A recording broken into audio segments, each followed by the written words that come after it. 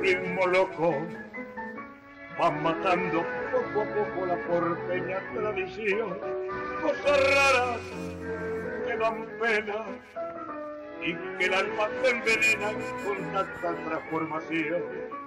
Buenos Aires, ¿quién diría que tan pronto cambiaría tu criolla calidad?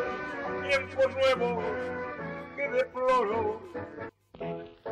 Perdóname si te añoro, ya no sos más mi ciudad.